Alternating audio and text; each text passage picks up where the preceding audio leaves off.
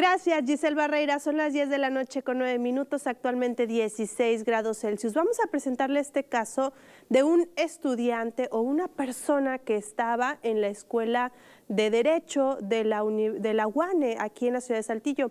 Resulta que este joven fue expulsado de la institución después de participar en una riña en una fiesta privada.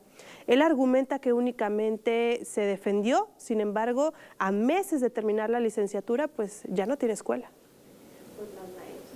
Saúl Garza, estudiante de la licenciatura de Derecho de la UANE, denunció que fue dado de baja arbitrariamente por el Consejo de la institución con el argumento de que fue partícipe de una pelea en una fiesta, lo que el joven considera injusto, pues la reunión social era privada y afuera de la escuela, pero ahora no podrá terminar la carrera a solo unos meses de graduarse. Por un conflicto que hubo fuera de la institución en la colonia Oceanía, aproximadamente a 13 kilómetros de la universidad, afuera de horario de la institución, aproximadamente eran la una y media de la mañana.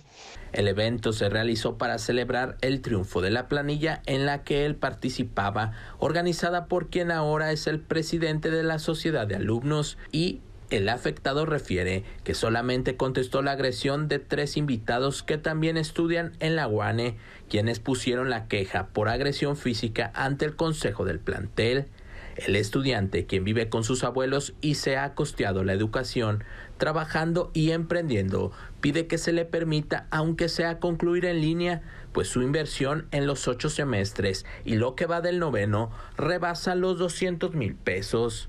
Yo solamente le pido a la universidad o a cualquier autoridad correspondiente que me dejen concluir con mi carrera, ya que solamente me faltan ocho meses para terminar mi licenciatura en Derecho a lo largo de estos cinco años.